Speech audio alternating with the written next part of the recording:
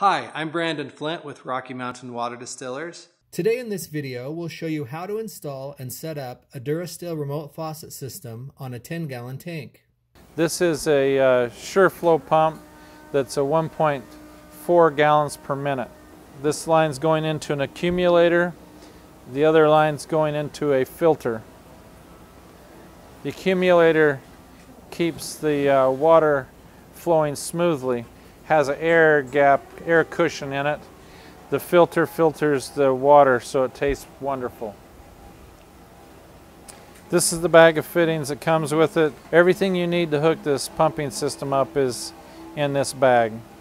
Open it up, put it out where you can get to it, get all the parts separated. Now you don't need all these parts, but you need some of them, depending on what you're doing. 50 feet of PEX that goes to your remote faucet. This little line here goes from your pump to your 10 gallon storage tank. Okay, the first thing you do on a 10 gallon tank is take this nut off on the bottom. Takes a 5 8 wrench. Take the cap off and inside this pipe there's a little uh, piece of pipe. You got to pull it out. There's just a little piece of plastic in here with a little piece of plastic tubing.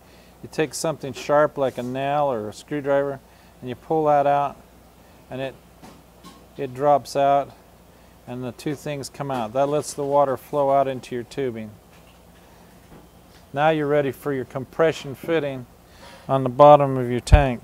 The first thing you do is put your compression nut on. Then you put your nylon seal on and it taper toward the threads. You put your knurl inside the PEX line, push it clear down, slide your seal up. You push it up into the fitting until it stops. You slide your nut up, your compression nut up, and tighten it until it comes tight and holds the pipe from, from moving. And you'll be able to tell how much to tighten that up. If it starts to leak, tighten it up a little bit more. You don't want to over tighten it. So that's a safe way of doing it. Now, now we'll attach this to the pump. Okay, the next thing you do is you remove this blue cap off your pump. It's where the water goes in. And then you take your PEX line, you put your compression nut on the PEX fitting and slide it up so the next thing you do is put on your lock ring and with the flares towards the outside and then you put your seal on with the taper towards the outside. You push it in about that far past the uh, end of the tubing and you tip it up and square it up and put it down into the pump push the tubing down in and then you tighten the nut up on to the pump. Just like that.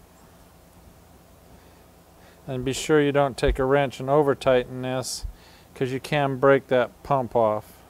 You just do it very carefully till you get it snug enough it isn't going to come off. I'm not going to tell you to do it so light that it comes off and, and you have a leak. But there's no pressure on this at all except for what the water's coming out of the tank so it doesn't really take a lot to keep it from leaking. After your pump's hooked up to your tank, you're ready to uh, hook up the rest of the house to the 50 foot long piece of PEX that comes with your machine and it hooks over here after the filter. The next thing we do is attach this line on the outs where it says out on top of this filter. Now I like to already have this PEX line run to wherever I want my water to go. So pretend you have it run up to your faucet or your refrigerator or your kitchen sink, your bathroom sink, wherever you're going to use distilled water. Uh, we don't use it for everything in the house like washing and that, but in the bathroom we use it for brushing our teeth and rinsing our mouth out. In the kitchen we use it for drinking and ice maker. Uh, you, this is really cool to have a pumping system hooked up to your refrigerator because your ice comes out crystal clear. Well, I'm going to show you how to install this coming out of the, the filter. First thing you do is you attach the nylon fitting into there. I'm not going to do it super tight here because we're at the factory at Durastill and I obviously this stuff has to be repackaged so it can be sold. Now the next thing we do, do is just like we did on the front end of the pump after you put the the coupler in there is you put your compression fitting on.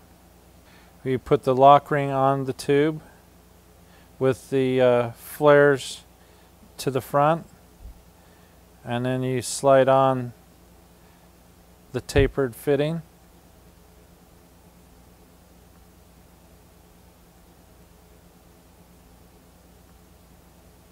and you get it on so it's sticking out the end about that far. And then you slide it into the nylon fitting. And just like before on the front of the pump you do this nut up until you get it tight enough that it isn't going to leak. And there is pressure on this side 60 pounds of pressure. When the pump gets 60 pounds of pressure on it it shuts off so it's an on-demand pump you open your faucet it runs water when it runs water it reduces the pressure in the line and it turns the pump on and the pump pumps some more water. When you turn the faucet off, it builds up 60 pounds of pressure and the pump turns off again. There you go.